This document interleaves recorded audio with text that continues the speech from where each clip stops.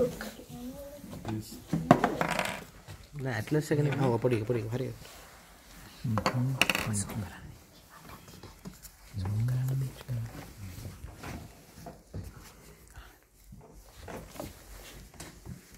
Next time you need to read ethmoid bone and bones of the facial skull and bones of the facial skull.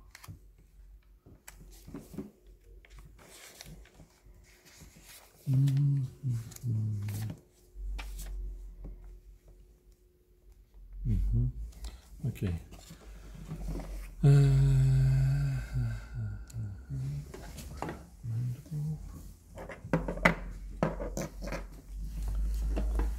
uh, bones of the facial skull. Some of them you need to know only names. For example, this small bone that is os nasale. That is all. Only name of this bone.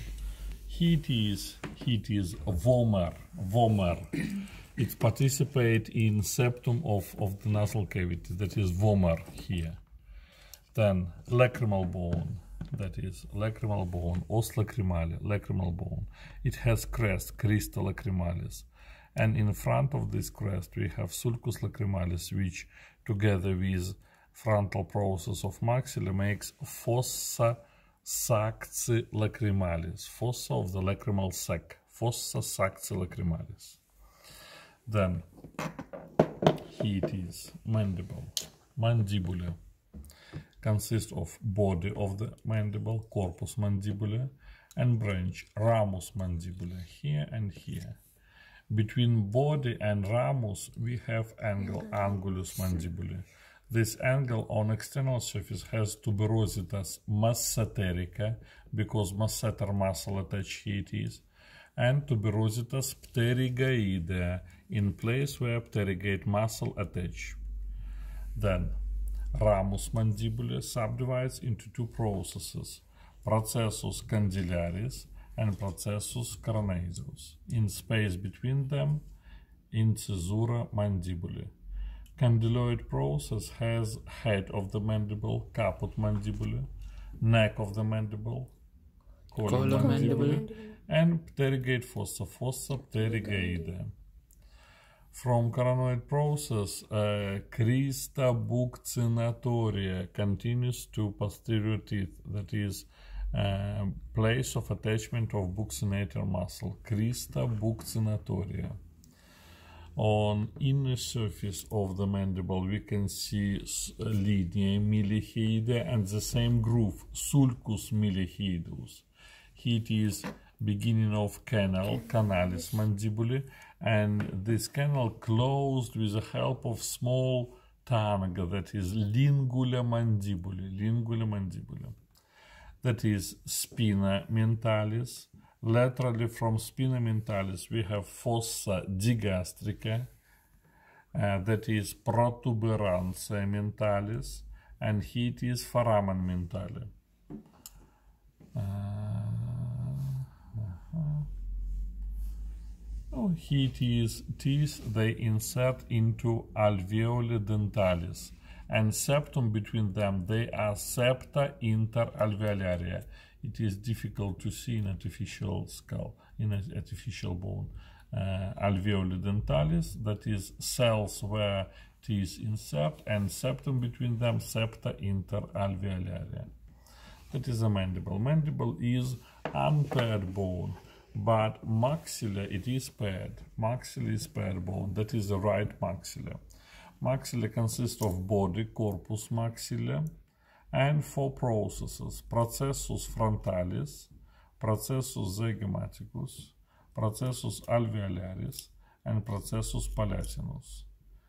Uh, body of the maxilla has four surfaces anterior surface facies anterior uh, orbital surface facies orbitalis nasal surface facies nasalis and infratemporal surface facies infratemporalis anterior surface has fossa opposite to canine dens that is fossa canina here it is canine fossa and opening foramen infraorbitale this foramen that is continuation of uh, in orbital surface we have sulcus infraorbitalis.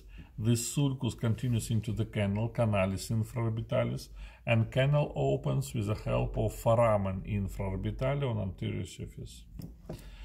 Infratemporal surface has tuber maxilla, here it is tuber maxilla, and groove sulcus palatinus major and nasal surface here it is two crests, crista conchalis, place of attachment of inferior concha, concha nasalis inferior, and crista et etmoidalis, that is concha nasalis media attached. Hiatus, hiatus maxillaris, hiatus maxillaris continues into sinus, sinus maxillaris, sinus maxillaris.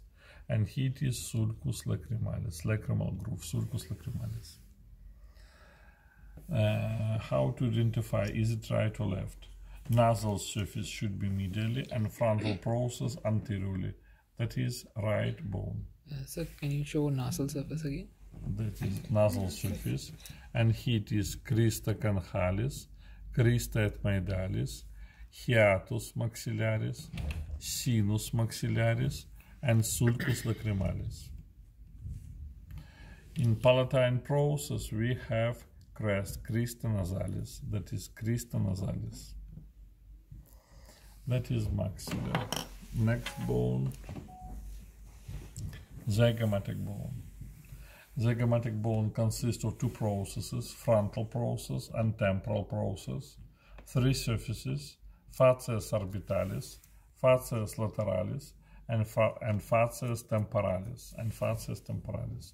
It is right bone, look here, that is right bone because frontal process should be upward superiorly that is frontal process. And uh, uh, temporal process it's backward. And this lateral surface should be laterally and facies orbitalis in front. Next etmoid bone os etmoidalia it consists of lamina cribrosa that is cribriform plate with a lot of openings where first cranial nerve, olfactory nerve pass through these uh, openings in lamina cribrosa. And lamina perpendicularis. Lamina perpendicularis participate in septum of nasal cavity. Laterally it is labyrinth, labyrinthus etmoidalis. Etmoid labyrinths with cells, cellular etmoidalis, inside of this labyrinth. Laterally, it has lamina orbitalis. Lamina orbitalis, it's participate in medial wall of the orbita. Lamina cribrosa has crista galli, and uh, inferiorly in labyrinths we have two concha, concha nasalis media and concha nasalis superior. The same we have inferior concha, but inferior concha that is another bone, separated bone. It is not part of etmoid bone superior concha and middle concha, both of them are parts of etmoid bone. But inferior concha, concha nasalis inferior, that is, it is, that is another bone, bone of the facial skull, concha nasalis inferior, concha nasalis inferior. And last bone, that is palatine bone, um, palatine and hyoid bone. Uh, there is no bones that is why I show you on the uh, diagram. That is palatine bone it consists of lamina horizontalis and lamina perpendicularis. Lamina horizontalis has crista nasalis lamina perpendicularis has crista conchalis and crista etmoidalis and it has three processes pyramidal process processus pyramidalis uh, processus orbitalis and processus sphenoidalis, and between them notch incisura sphenopalatine. On the whole skull, it is a sphenoid bone attached, and it, it, it forms foramen sphenopalatinem. Where is here? That is lamina horizontalis of palatine bone. It's attached to palatine process of maxilla and here it is lamina perpendicularis of palatine bone. It's attached anteriorly to maxilla, posteriorly to pterygoid process of sphenoid bone, that is palatine bone. lamina horizontalis and lamina perpendicularis. In place where these two lamina join together, uh, we have pyramidal process, processus pyramidalis. And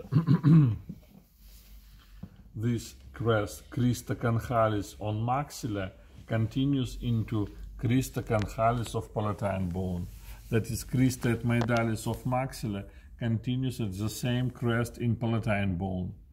And this groove, sulcus palatinus major, it's joined together with the same groove in palatine bone, and together, together, they makes canal. Palatine bone and maxilla together makes canalis palatinus major on the whole skull. And last bone, last bone that is hyoid bone, os hyoidum, that is hyoid bone, consists of body, corpus ossis hyoidi, and two horns, lesser and greater, cornu minus and cornu minus. That is all. So where is it uh, in our body? Hyoid? Hyoid bone below the mandible, between mandible and uh, uh, larynx. Uh, larynx with the help of membrane attached to hyoid bone. Can you again show the canal? Canal hiatus canalis palatinus major between uh, maxilla and palatine bone. Canalis palatinus major. Well, next time bones of the facial skull and uh, ethmoid bone. So what is this part? That is, uh, look here, look here. That is nasal bone, os nasale. It is frontal process of maxilla, and then all another that is cartilages. Cartilages This of part is cartilage. yes, right? yes, yes. And this bone that is nasal bone. Thank you.